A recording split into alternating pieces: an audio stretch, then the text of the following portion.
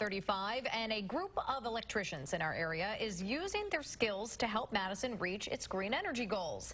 They're part of the city's Green Power program, which started back in 2016. Those involved in the program often have little or no electrical experience. Everyone, though, receives solar energy training from master electricians who use their skills right here in our community as well as overseas. Matt Parks works for the city's engineering department and recently helped install solar panels in Puerto Rico to assist assist with recovery efforts from Hurricane Maria.